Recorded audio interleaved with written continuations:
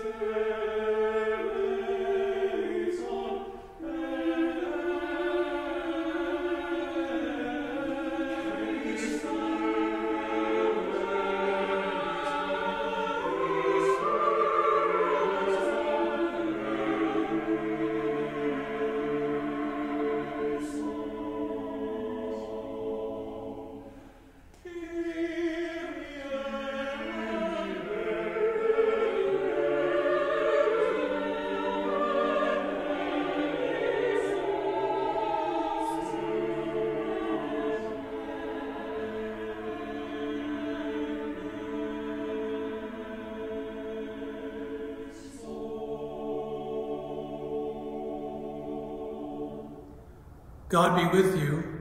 And also with you. Let us pray.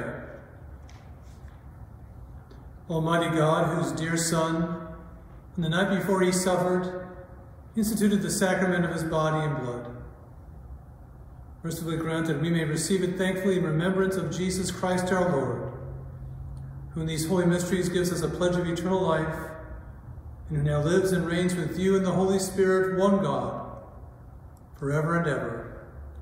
Amen.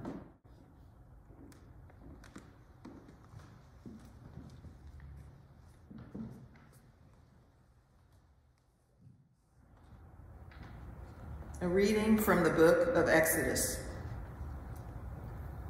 The Lord said to Moses and Aaron in the land of Egypt, This month shall mark for you the beginning of months. It shall be the first month of the year for you. Tell the whole congregation of Israel that on the tenth of this month they are to take a lamb for each family, a lamb for each household. If a household is too small for a whole lamb, it shall join its closest neighbor in obtaining one. The lamb shall be divided in proportion to the number of people who eat it. Your lamb shall be without blemish, a year-old male. You may take it from the sheep or from the goats. You shall keep it until the 14th day of this month. Then the whole assembled congregation of Israel shall slaughter it at twilight. They shall take some of the blood and put it on the two doorposts and the lintel of the houses in which they eat it. They shall eat the lamb that same night. They shall eat it roasted over the fire with unleavened bread and bitter herbs. Do not eat any of it raw or boiled in water but roasted over the fire with its head, legs, and inner organs. You shall let none of it remain until the morning. Anything that remains until the morning you shall burn. This is how you shall eat it, your loins girded, your sandals on your feet, and your staff in your hand, and you shall eat it hurriedly. It is the Passover of the Lord. For I will pass through the land of Egypt that night, and I will strike down every firstborn in the land of Egypt, both human beings and animals. On all the gods of Egypt will I execute judgments. I am the Lord. The blood shall be a sign for you on the houses where you live. When I see the blood, I will pass over you and no plague shall destroy you when I strike the land of Egypt. This shall be a day of remembrance for you. You shall celebrate it as a festival to the Lord. Throughout your generations, you shall observe it as a perpetual ordinance hear what the Spirit is saying to God's people. Thanks be to God.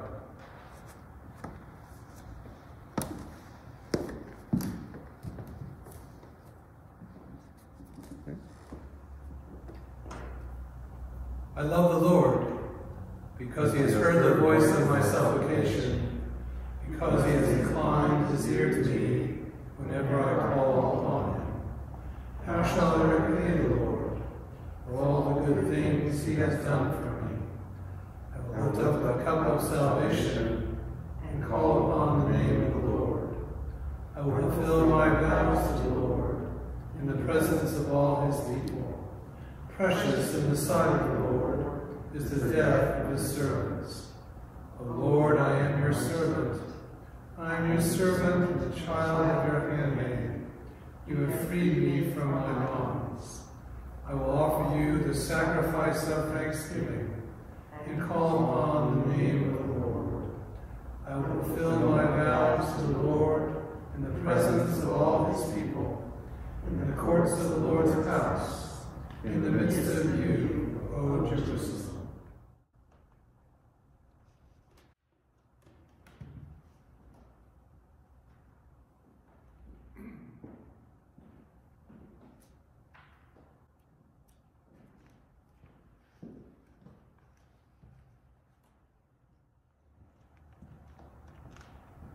A reading from the first letter of Paul to the Corinthians. For I have received from the Lord what I also handed on to you, that the Lord Jesus, on the night that he was betrayed, took a loaf of bread, and when he had given thanks, he broke it and said, This is my body that is for you. Do this in remembrance of me. In the same way, he took the cup also after supper, saying, This cup is the new covenant in my blood. Do this as often as you drink it in remembrance of me. For as often as you eat this bread and drink the cup, you proclaim the Lord's death until he comes. Hear what the Spirit is saying to God's people. Thanks, be to God.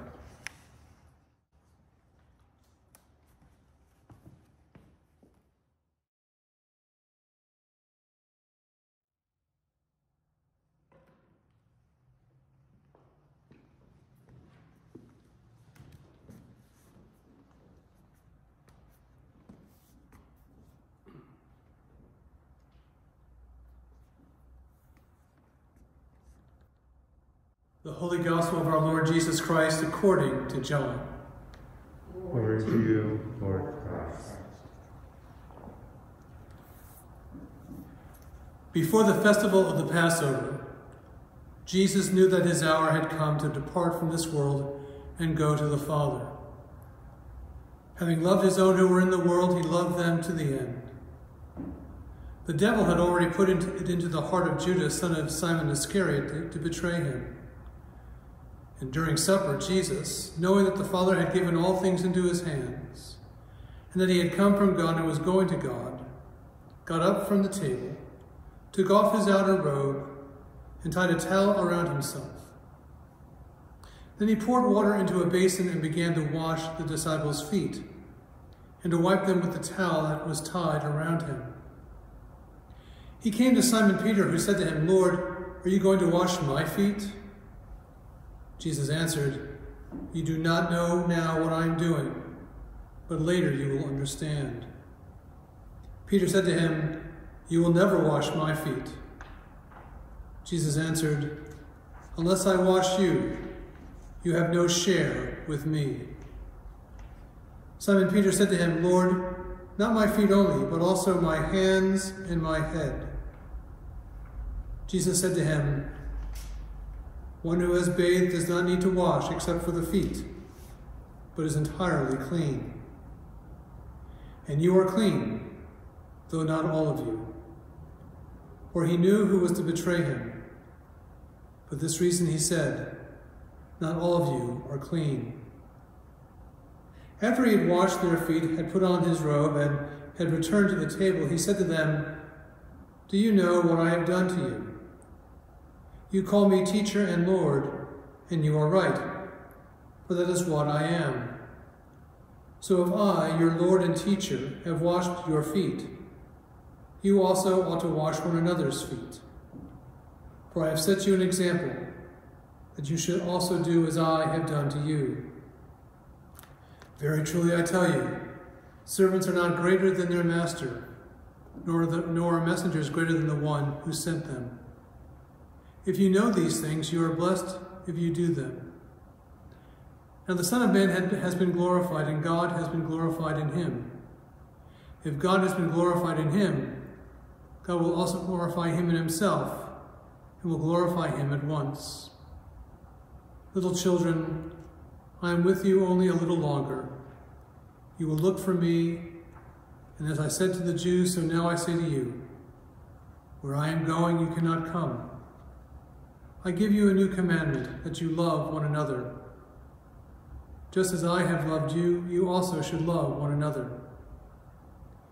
By this everyone will know that you are my disciples, if you have love for one another. The Gospel of the Lord. Praise, Praise to you, Lord Christ.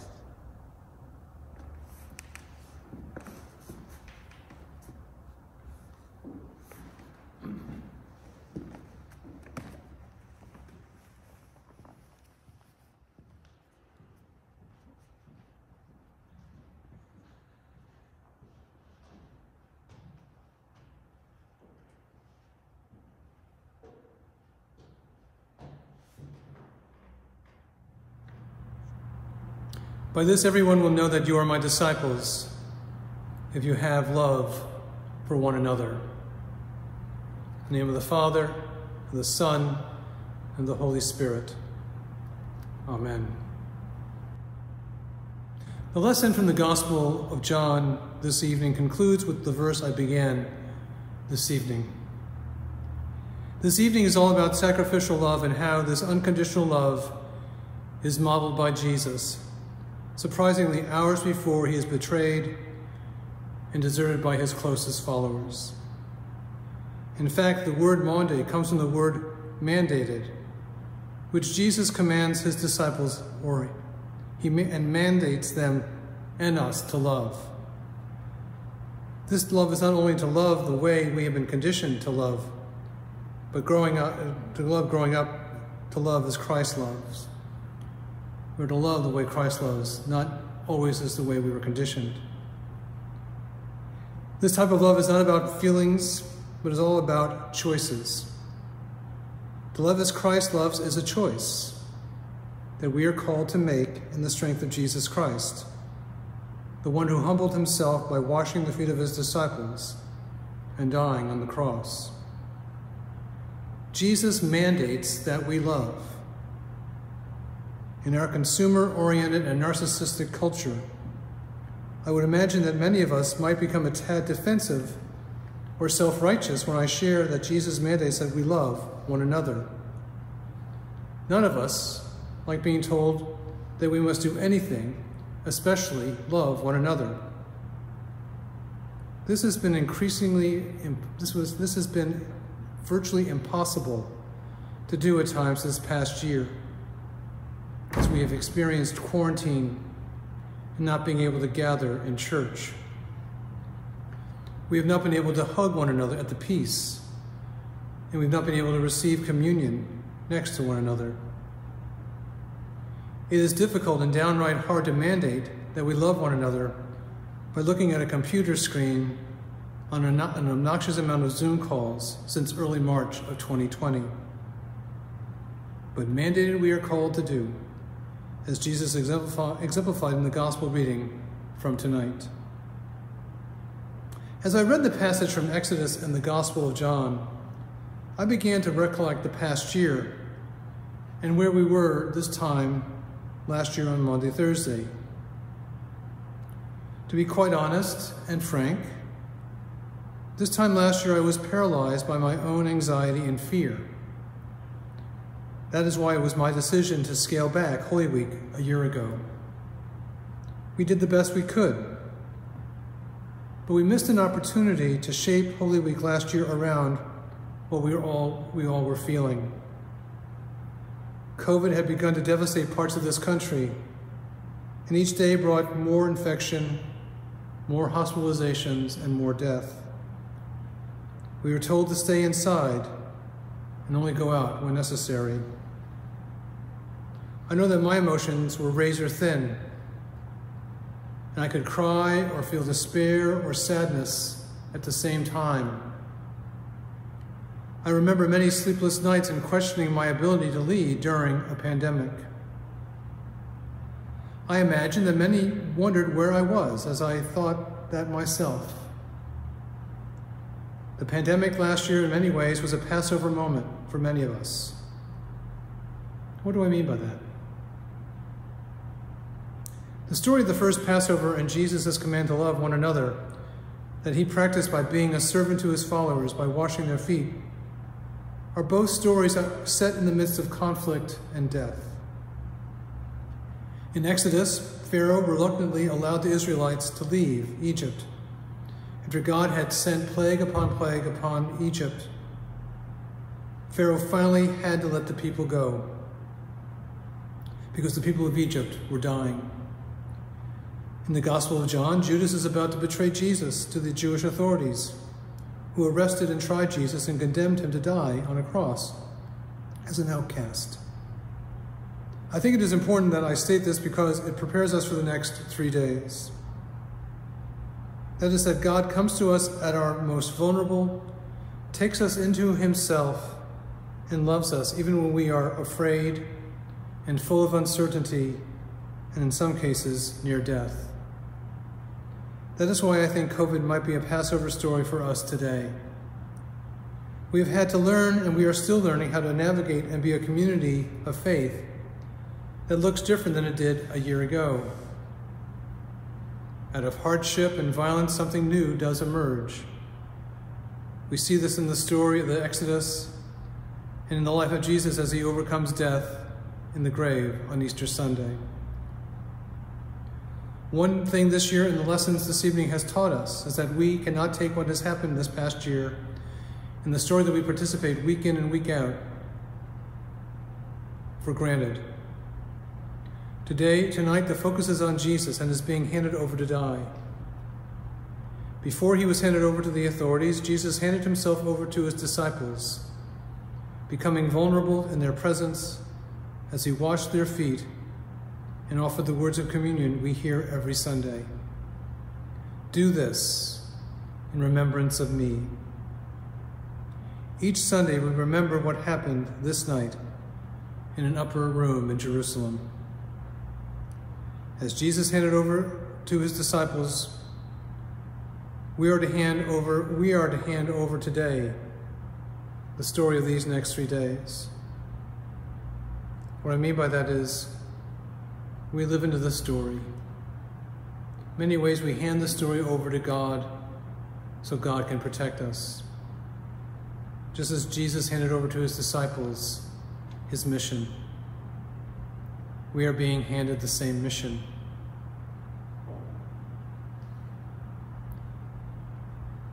We can't wash each other's feet this, this night, but Jesus washed the feet of his disciples including the feet of Judas, who then went out to betray him.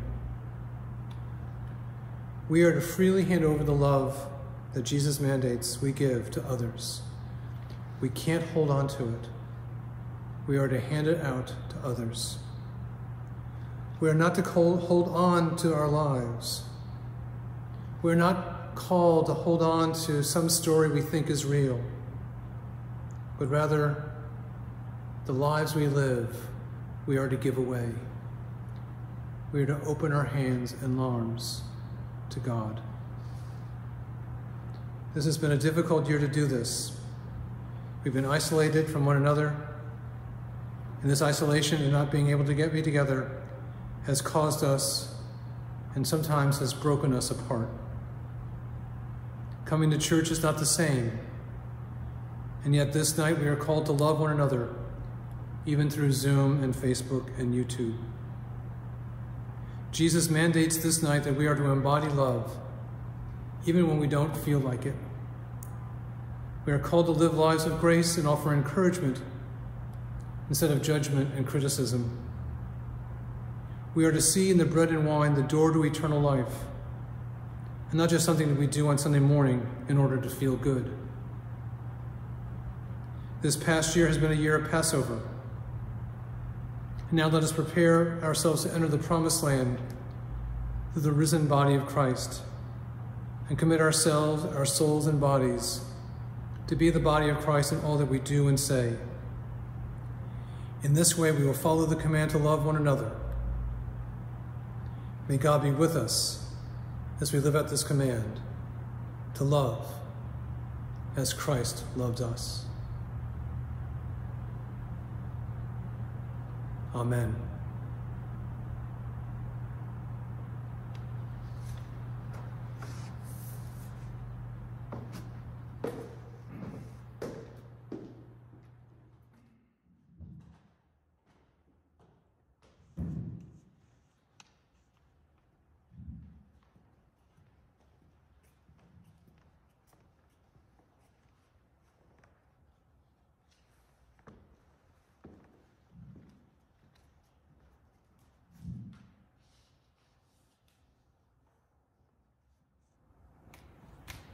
Father, we pray for your holy Catholic Church. That we all may be one. Grant that every member of the church may truly and humbly serve you. That your name may be glorified by all people. We pray for all bishops, priests, and deacons. That they may be faithful ministers of your word and sacraments. We pray for all who govern and hold authority in the nations of the world. That there may be justice and peace on the earth. Give us grace to do your will in all that we undertake. That our works may find favor in your sight. Have compassion on those who suffer from any grief or trouble. That they may be delivered from their distress. Give to the departed eternal rest. Let light perpetual shine upon them. We praise you for your saints who have entered into joy. May we also come to share in your heavenly kingdom. Let us pray for our own needs and those of others. Lord Jesus Christ, you said to your apostles, Peace I give to you, my own peace I leave with you.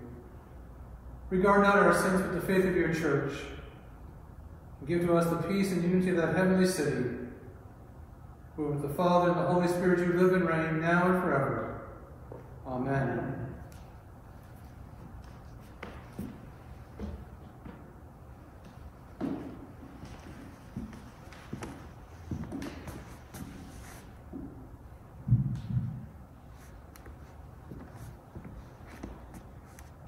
The peace of Christ be always with you. And also with you. Walk in love as Christ loved us and gave himself for us, an offering and sacrifice to God.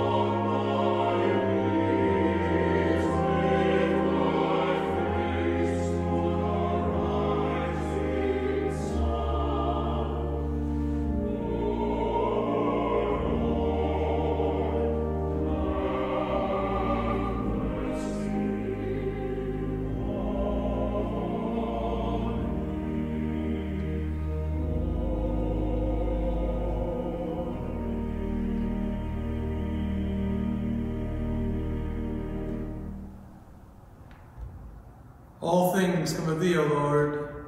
Thine own have we given thee. Amen. God be with you. And also with you. Lift up your hearts. We lift them to the Lord. Let us give thanks to the Lord our God. It is right to give God thanks and praise. It is right and a good and joyful thing, always and everywhere to give thanks to you, Father Almighty, creator of heaven and earth, through Jesus Christ our Lord. For our sins he was lifted high upon the cross, that he might draw the whole world to himself. And by his suffering and death, he became the source of eternal salvation for all who put their trust in him. Therefore we praise you, joining our voices with angels and archangels, with all the company of heaven, who forever sing this hymn, proclaim the glory of your name.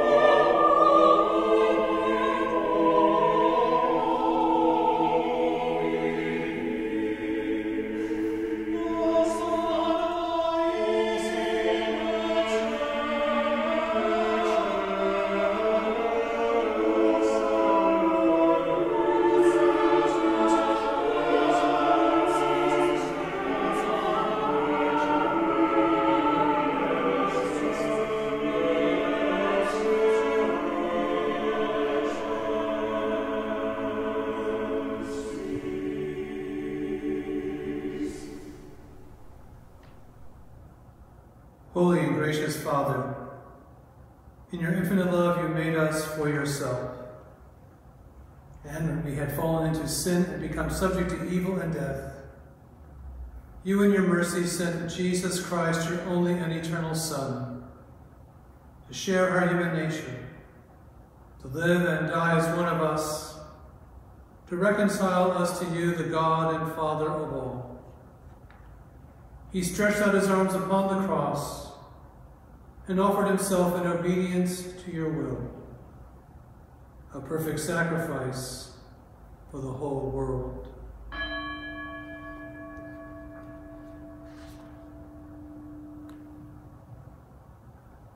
On the night he was handed over to suffering and death, our Lord Jesus Christ took bread. And when he had given thanks to you, he broke it and gave it to his disciples and said, Take, eat. This is my body which is given for you.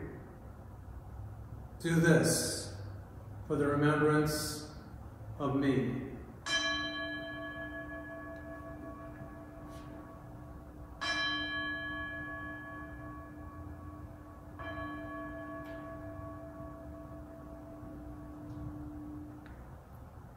After supper, he took the cup of wine. And when he had given thanks, he gave it to them and said, Drink this, all of you.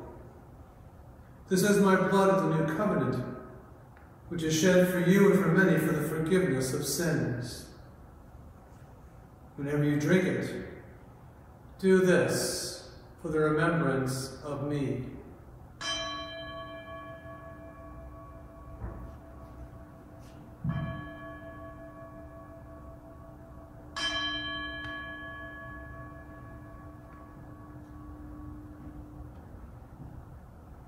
Therefore, we proclaim the mystery of faith. Christ has died, Christ is risen, Christ will come again. We celebrate the memorial of our redemption, O Father, in this sacrifice of praise and thanksgiving. Recalling his death, resurrection, and ascension, we offer you these gifts. Sanctify them by your Holy Spirit, to be for your people the body and blood of your Son, the holy food and drink of new and unending life in him. Sanctify us also, that we may faithfully receive this holy sacrament and serve you in unity, constancy, and peace. And at the last day, bring us with all your saints into the joy of your eternal kingdom. All this we ask through your Son, Jesus Christ, by him and with him and in him in the unity of the Holy Spirit, all honor and glory is yours, Almighty Father, now and forever. Amen.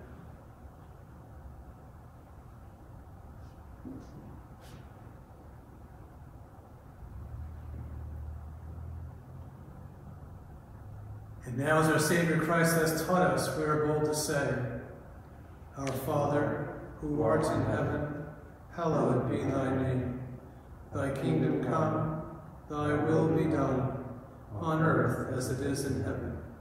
Give us this day our daily bread, and forgive us our trespasses, as we forgive those who trespass against us. And lead us not into temptation, but deliver us from evil. For thine is the kingdom, and the power, and the glory, forever and ever. Amen.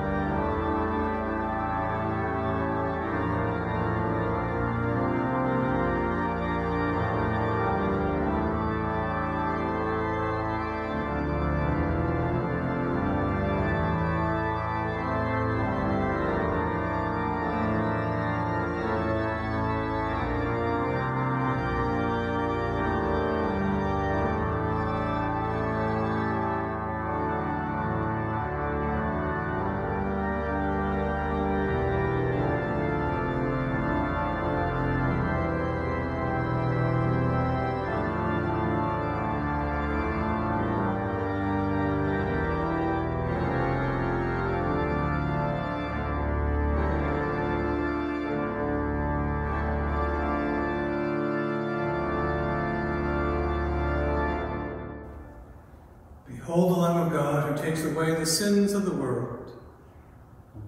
Only speak the word of Christ, and my soul shall be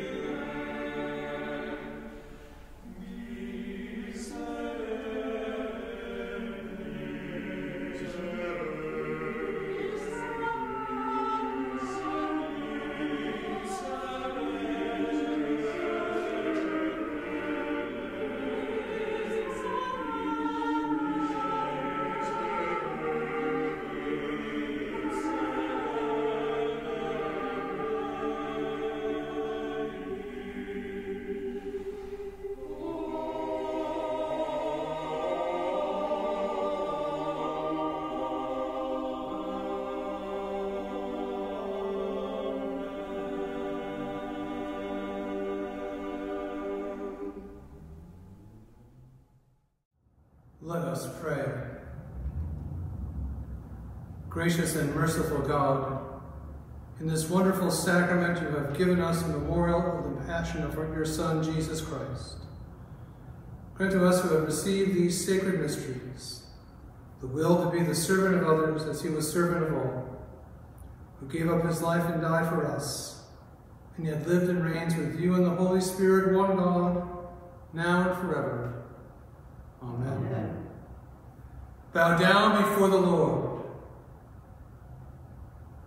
Almighty God, we pray you graciously to behold this, your family, for whom our Lord Jesus Christ was willing to be betrayed and given into the hands of sinners, and to suffer death upon the cross, who lives and reigns forever and ever. Amen.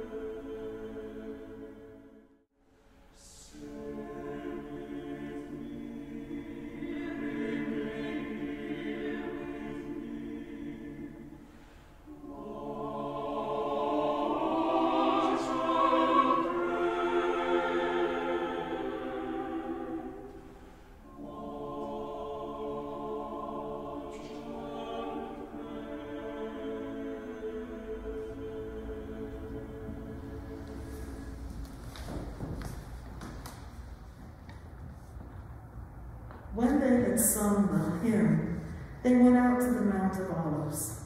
Then Jesus said to them, You will all become deserters because of me this night. For it is written, I will strike the shepherd, and the sheep of the flock will be scattered. But after I am raised up, I will go ahead of you to Galilee. Peter said to him, Though all become deserters because of you, I will never desert you. Jesus said to him, Truly I tell you this very night, before the cock crows, you will deny me three times.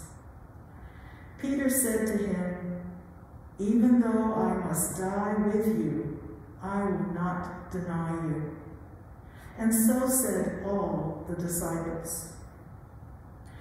Then Jesus went with his disciples to a place called Gethsemane, and he said to them, Sit here while I go over there and pray. He took with him Peter and the two sons of Zebedee, and began to be grieved and agitated. Then he said to them, I am deeply grieved, even to death. Remain here and stay awake with me.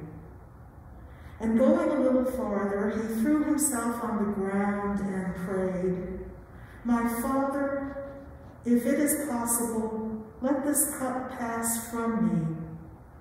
Yet not what I want, but what you want. Then he came to the disciples and found them sleeping. And he said to Peter, So, could you not stay awake with me one hour? Stay awake and pray that you may not come into the time of trial. The spirit indeed is willing, but the flesh is weak. Again he went away for the second time and prayed, My Father, if this cannot pass until I drink it, your will be done. Again he came and found them sleeping, for their eyes were heavy.